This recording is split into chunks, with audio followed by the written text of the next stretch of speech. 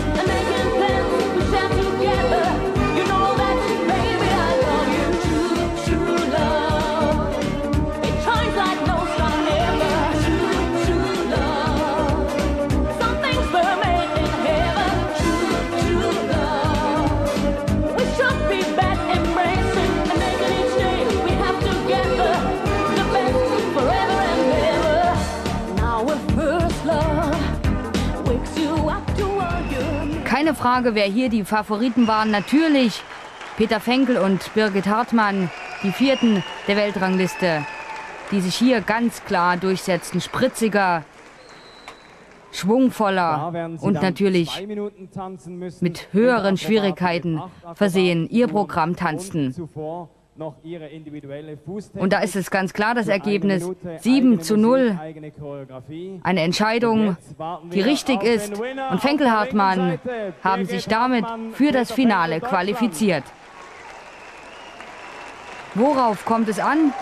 In dieser zweiten Hauptrunde bewertet werden natürlich Takt, Rhythmus, Harmonie, die Grad der Schwierigkeiten, Linienführung, Choreografie.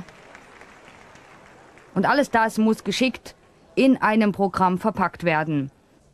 Die zweite Paarung also Dinara Betredinova und Andrei Bardanov links, die fünften der Weltrangliste gegen die 14. der Rangliste aus der Slowakei, Barbara Vadovikova und Stanislav Kocic. Und die Russen fangen mit einer Kombination an und die Slowaken mit einem Doppelsalto rückwärts.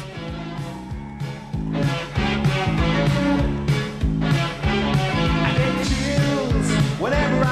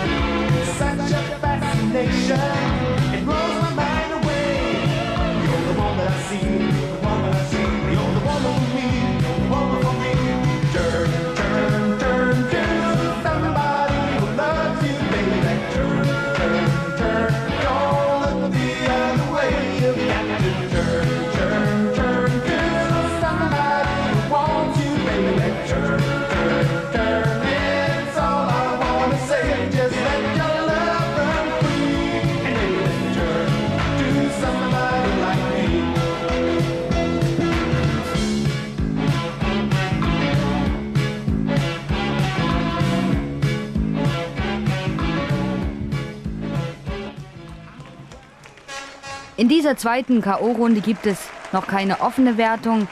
Die sieben Wertungsrichter geben lediglich einem Paar die Stimme und das Paar mit den meisten Stimmen wird automatisch für das Finale qualifiziert. In dem Fall Betredinova Bardanov aus Moskau.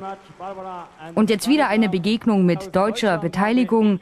Ingrid Rieck, die 24-Jährige und der 31-Jährige Horst Noll aus Schwäbisch Gmünd, die 20. der Weltrangliste gegen ein Paar, das hier ganz viele Fans hat, Brigitte de Menga und Claudio Tambini. Die kommen nämlich vom Rock'n'Roll Club. Sie sagt, das ist ganz nah bei Basel und ganz klar haben die hier eine wahre Fangemeinde im Publikum sitzen.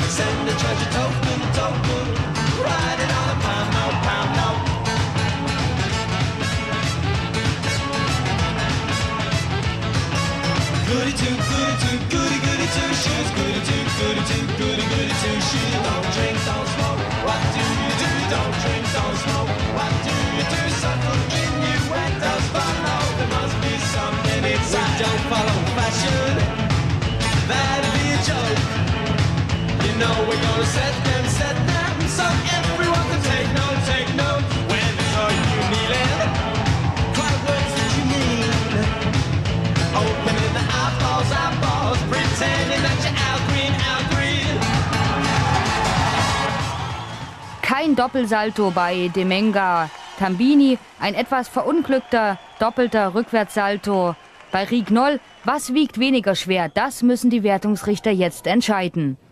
Die Deutschen sind ja nicht gerade mit der allerstärksten Riege hier in Basel vertreten. Das Ehepaar Wolf aus Geimersheim ist wegen einer Erkältung außer Gefecht gesetzt und auch Prochnow Stroppel fehlen wegen einer Rückenverletzung.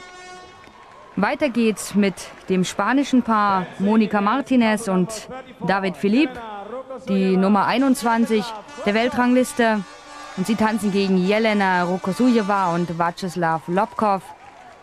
Das sind die Dritten der letztjährigen Weltmeisterschaft und die Ersten der Weltrangliste.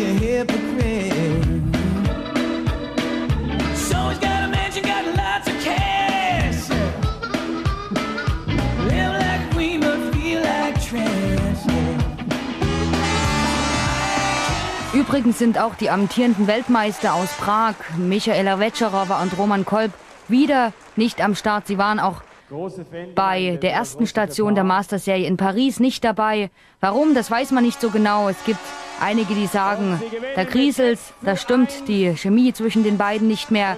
Andere behaupten, er würde wegen einer Rückenverletzung pausieren. Naja, Fakt ist, das Fehlen der beiden entschärft natürlich die Turniersituation. Aber auf der anderen Seite macht es auch Motivation für die Paare, die danach kommen, die vielleicht hin und wieder eine Chance haben, so auch mal nach vorne zu kommen, wie die russischen Paare, die ja sehr stark waren und gerade in den letzten Turnieren durch überzeugende Leistungen ihre Ambition demonstrierten, auch mal nach vorne zu kommen. Jetzt die vorletzte Paarung, Clarisse Solbet und Michael Anguera die für Kanada starten gegen Susanna Kordakova und Peter Kordac, Trainingsgefährten der Weltmeister auch aus Prag kommend.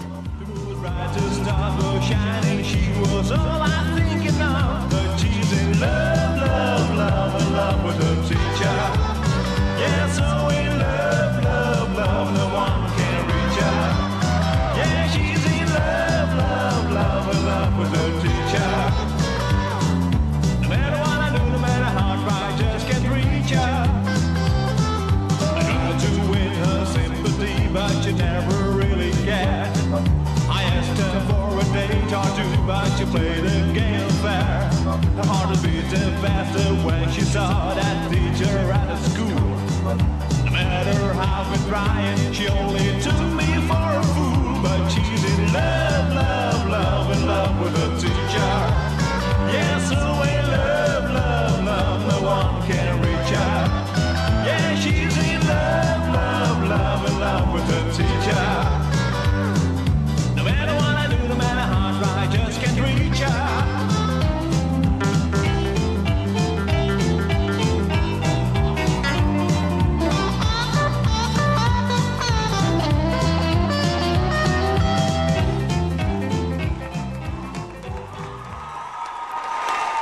Ein solide gezeigtes Programm von beiden Paaren. Da dürfte die Entscheidung etwas schwerer fallen, aber sie fällt zugunsten Kordakova Kordac mit 5 zu 2 Stimmen aus. Und auch sie im Finale. Mit 5 zu 2 So, und jetzt kommt das Paar aus Italien, Daniela Cozza und Riccardo Tessarin aus Turin. Die waren mal 1987 Weltmeister und belegen momentan die Nummer 7 der Weltrangliste. Sie waren im letzten Jahr in Basel übrigens Dritter. Und das ist ein russisches Paar, das sehr viel Ambition zeigt.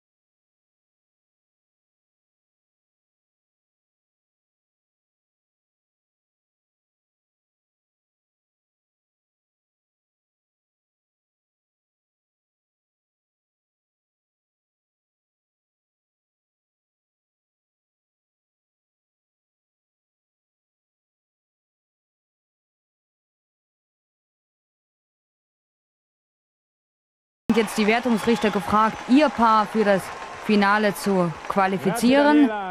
Wer war besser? Und da fällt die Entscheidung ganz knapp mit 4 zu 3 für Kotza Tessarin aus. Aber auch Tretjakova Kustov kommen ins Finale als beste Verlierer. Kurzer Blick in das Finale der Junioren B. Das sind Manuela Soltermann und Christian Farni, 13 und 14 Jahre aus Thun, die hier gewannen. Und die beiden haben ein berühmtes Vorbild, Rokosujewa Lobkov, und da haben sie sich einiges von den beiden abgeschaut.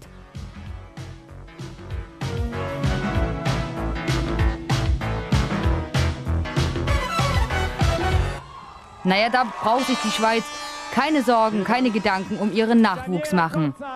Finale Fußtechnik, eine Minute, 50 bis 52 Takte pro Minute werden getanzt und die Paare zeigen hier ihre Choreografie, die sie auf eigene Musik einstudiert haben. Den Anfang machen Daniela Kotzer und Riccardo Tessarin.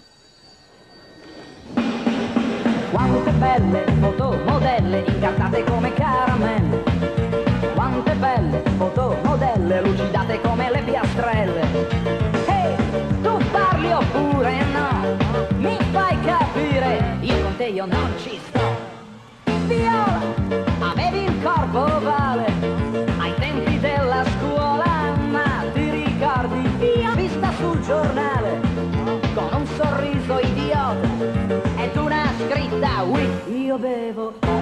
visci.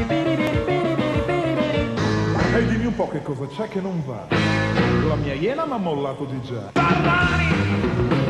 E cambiamo il look. Armani! E cambiamo il look. Armani, Armani Bussi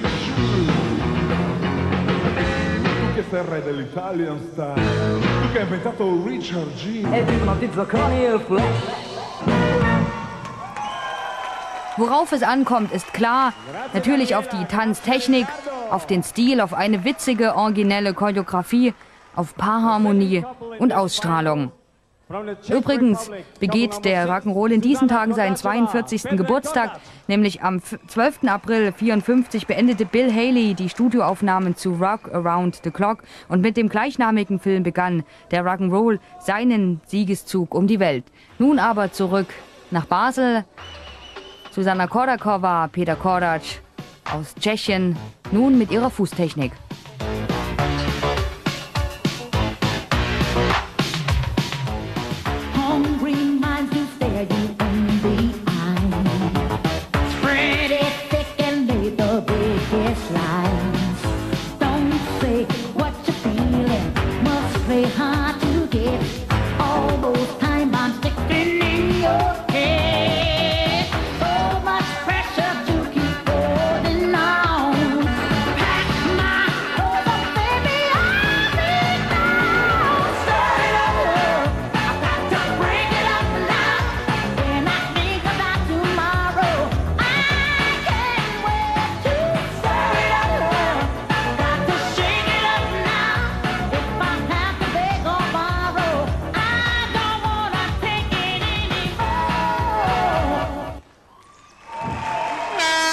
Mädchen aus Tschechien sind eigentlich immer im Finale, wenn sie am Start sind. Sie tanzen solide, aber so ein bisschen fehlt da der Schwung, fehlt da die Ausstrahlung und es kommt nicht ganz der Funken ins Publikum rüber.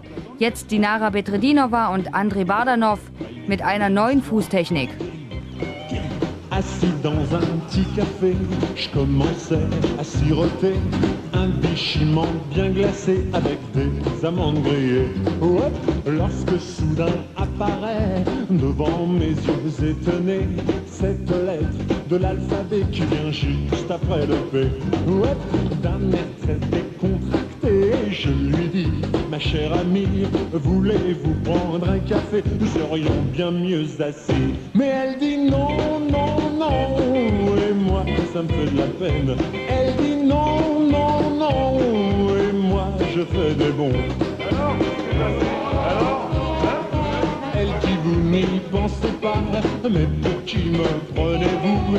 D'abord je ne vous connais pas, vous êtes sûrement un voyou. Ouais, vous allez me raconter des choses drôles pour m'amuser, et quand vous m'aurez charmé, vous désirez.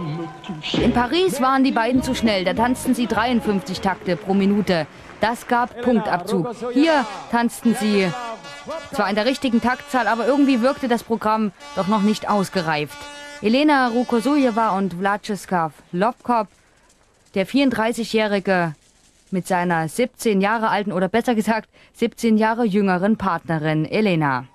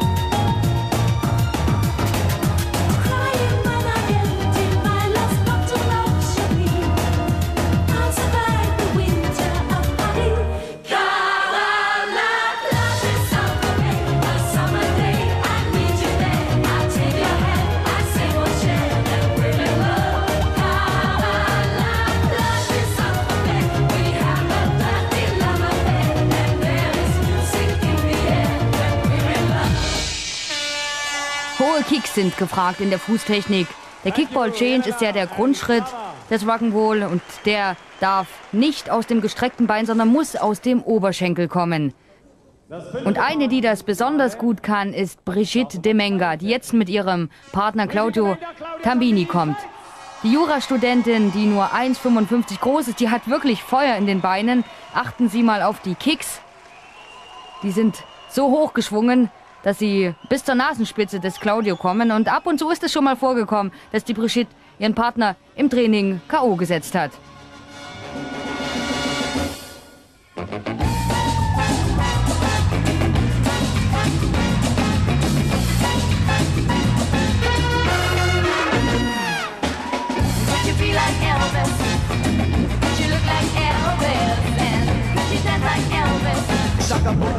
Give me a cool Corona. Could you be like Elvis? Could you look like Elvis? And could you dance like Elvis? Shakabona, sing it, baby. Mm-hmm.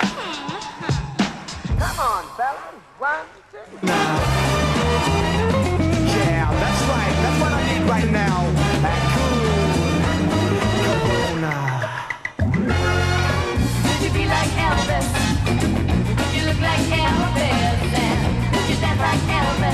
Shakabona, give me a cool Corona. Could you be like Elvis? Could you look like Elvis? And could you dance like Elvis? I said stop. Also bei ihr ist es wahrhaftig so, dass das Gefühl für Rhythmus, für Rock'n'Roll-Takt von den Rezeptoren des Innenohrs bis über den Bauch hinweg zu den Zehenspitzen reicht. Birgit Hartmann und Peter Fenkel, sie haben viel an ihrer Fußtechnik gearbeitet, nachdem klar war, sie können die Weltmeister nur schlagen, wenn sie sich verbessern auf dem tänzerischen Gebiet. Und sie haben viel getan. haben eine witzige Choreografie einstudiert und sie wollen endlich ihr Ziel verwirklichen in diesem Jahr. Nach viermal Vize-Weltmeister endlich Weltmeister werden. I'm right in the middle. I'm the average kind of guy. And I work from nine to five.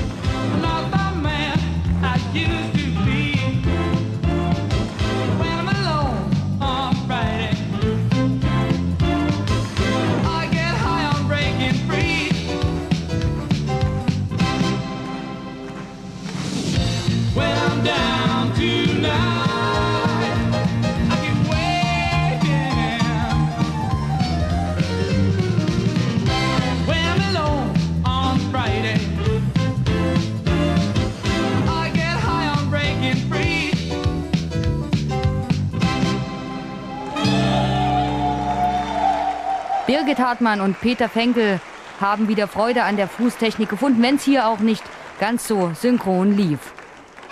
Und die letzte Paarung, Irina Tretjakova und Oleg Kustov, auch zwei, die große und starke tänzerische Akzente setzen. Le jour où dans une de ces soirées, j'ai même pas pu la regarder, tellement ses yeux me brûlaient. Maintenant, je la suis partout, plus fidèle qu'un toutou. Elle veut jamais s'arrêter, je sens bien que je vais craquer. J'ai perdu la tête depuis que j'ai vu Suzette. Je perds la raison chaque fois que je vois. Perdu la tête depuis que j'ai vu Suzette. Je perds la raison chaque fois que je vois Suzon. Ouais, j'ai perdu la tête, j'ai perdu la tête, j'ai perdu, j'ai perdu, ouais, j'ai perdu la tête, oui, j'ai perdu la tête depuis que j'ai vu Suzette. Je perds la raison chaque fois que je vois Suzon.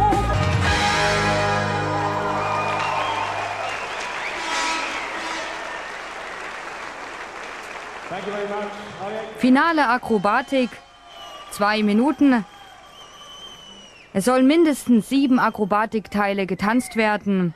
Und das Tempo ist hier bei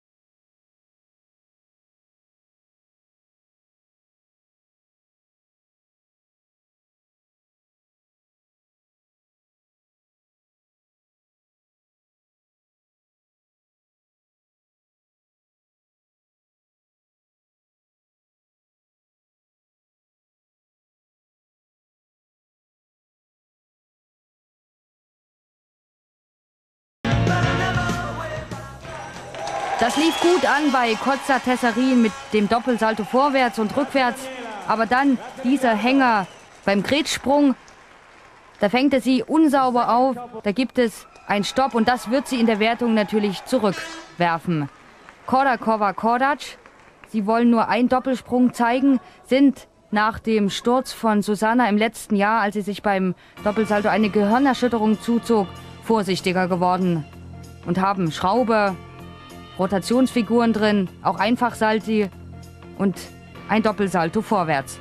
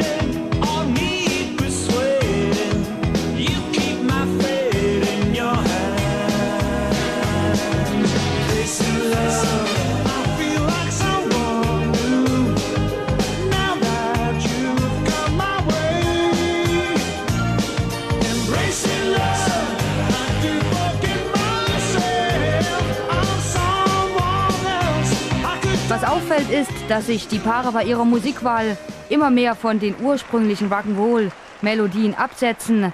Das ist aber eine Frage des Taktes, keine Musik von Bill Haley, die ist zu langsam und klassische Boogie-Musik dagegen ist zu schnell und die kann man dann auch nicht langsamer tanzen, da würde doch der Pfeffer raus sein. Deshalb weichen sie auf englische Pop- oder Schlagermusik aus. Und es hat auch einen Grund, sie sind ja junge Leute, sie wollen natürlich zu moderner Musik tanzen. Und es soll auch gezeigt werden, dass der Tanzstil oder zumindest einige Elemente der 50er Jahre durchaus mit der Musik der 90er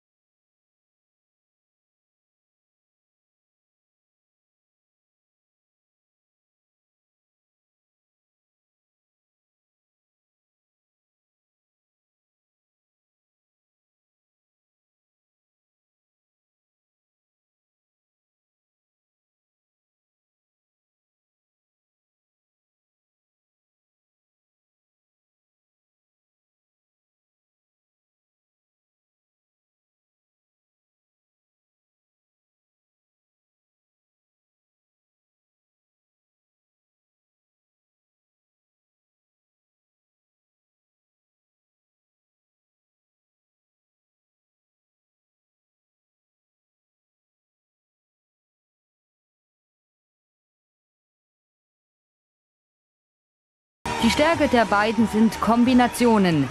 Schön aber auch. Zum Beispiel der hohe Todessturz, bei dem sie mit dem Kopf voran über den Rücken des Herrn in Richtung Boden fliegt. Elena Rokosojewa und Vacislav Lobkov, die ersten der Weltrangliste, die dritten der Weltmeisterschaft und die dritten der Europameisterschaft. Die Trainingsbedingungen in Russland sind schlecht, die finanzielle Unterstützung vom Verband mager und so leben die beiden und trainieren vorrangig in Deutschland und wohnen dann auch bei Freunden.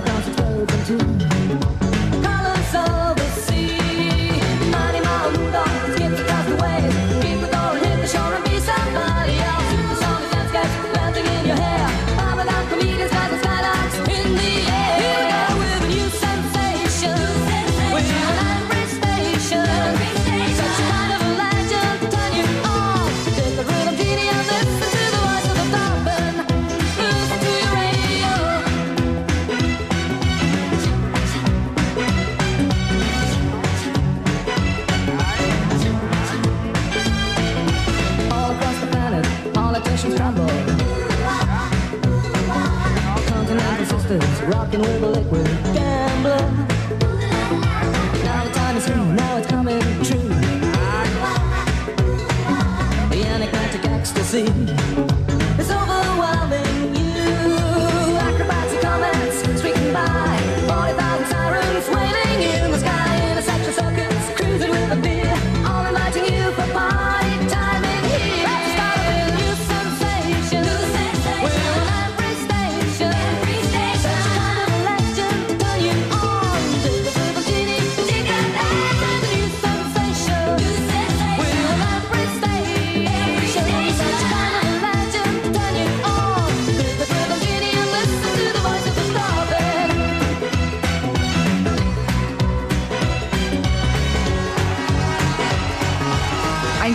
Programm der beiden mit den beiden Doppelsalti, aber da gab es auch Schrittfehler von Elena vor dem Propeller. Das ist das sogenannte Element, wo sich die Dame wie eine Halskrause sozusagen um den Herrn bewegt. Brigitte Menga und Claudio Tambini, das Paar, das als einziges keinen Doppelsalto springt, dafür aber eine gute Schraube und damit wollen sie auch ihr Programm beginnen.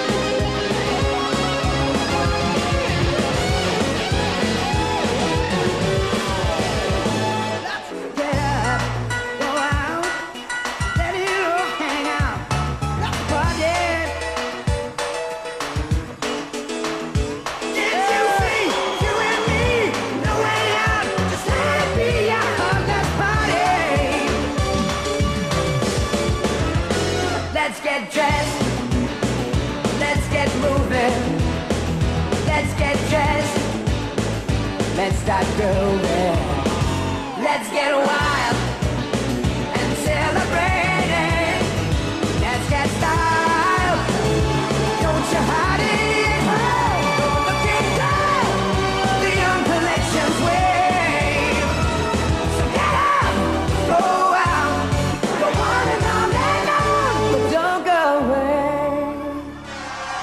Bei ihnen fehlen die Höchstschwierigkeiten. Ihre Stärke, ihre Stärken sind und bleiben die ausgeglichene, harmonische Paardarstellung. Die beiden, die erst seit 1994 zusammentanzen, hier mit einer hochgeschwungenen Schraube von Brigitte.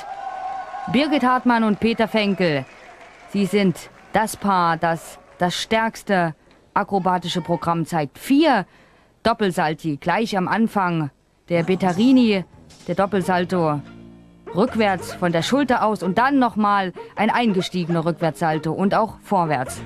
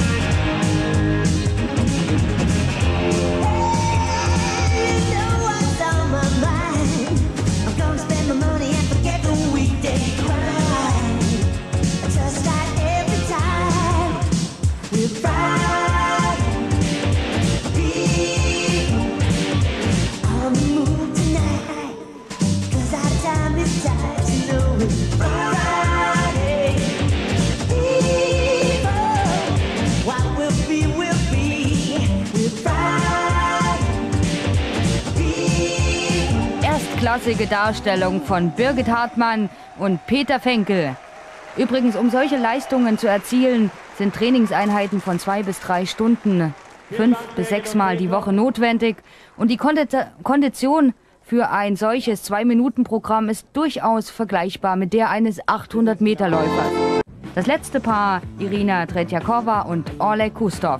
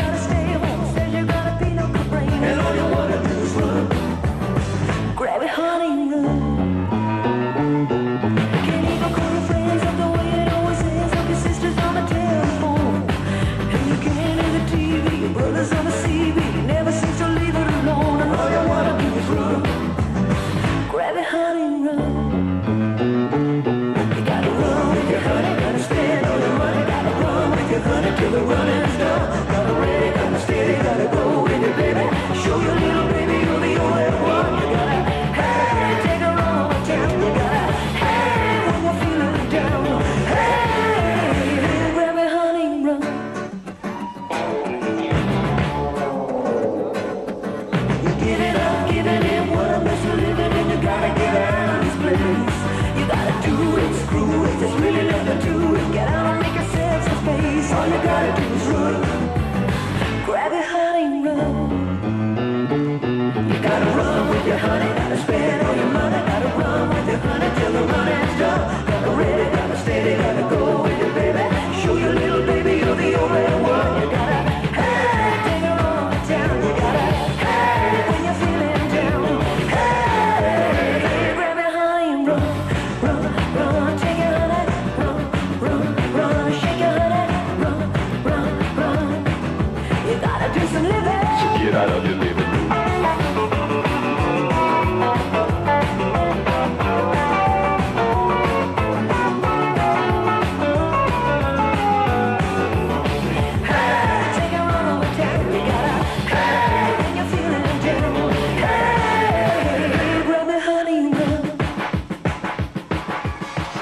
Tretjakova Kustov profitieren auf jeden Fall vom Fehlen der Weltmeister Vetscherova Kolb. Sie haben nicht nur beste Chancen auf einen Platz ganz vorne, sondern sie sammeln auch wertvolle äh, Weltranglistenpunkte und können so die Weltmeister nach hinten schieben. Jetzt offene Wertung mit der Platzvergabe für Kotza Tesserin. Und da gibt es fast übereinstimmend bis auf die drei aus Frankreich die sieben und es ist der siebte Platz für die Italiener. Kordakova Kordac, naja, zweimal die sieben, viermal die sechs, macht den sechsten Platz. Betredinova Bardanov, die Lieblinge des Publikums, sie kommen an, sie machen Laune, aber da waren Fehler drin und das sehen die Wertungsrichter. Und da gibt es trotz einiger Pfiffe aus dem Publikum die Majorität für den fünften Platz. So, Rukosujeva Lobkov. Oh, zweimal die zwei, aber auch die fünf. Das reicht am Ende nur für den dritten Platz. Der Menga Tambini. Die beiden, die hier in Basel zu Hause sind. Was sehen die Wertungsrichter? Ha, zweimal die Eins. Naja, und viermal die Zwei. Da ist sogar der Schweizer Wertungsrichter objektiv und gibt die vier. Die zwei Zweien kamen aus Österreich und Dänemark. Jetzt aber unsere Birgit Hartmann und Peter Fenkel. Naja, das ist ganz klar der erste Platz. Die drei aus Dänemark.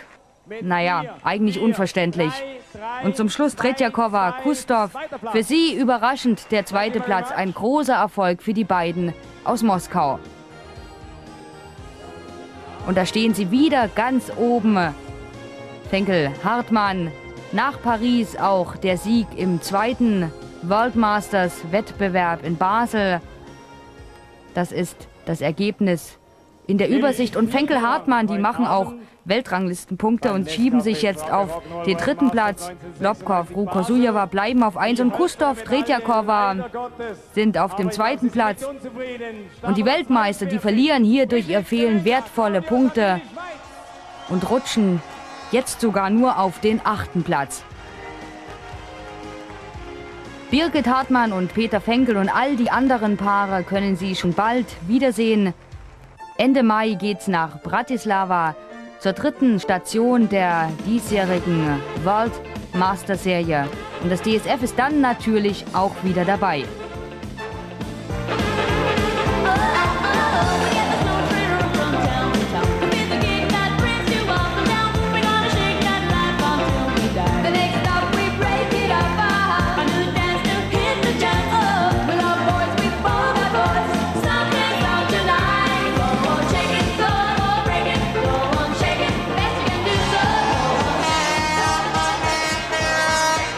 Much. Mille grazie.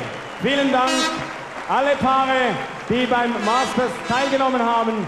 Es waren 45 am Start aus 14 Nationen. Sieben haben das Finale erreicht. Weltklasse in der Basler Messehalle im. Nescafé Frappé präsentierte Rock'n'Roll im DSF.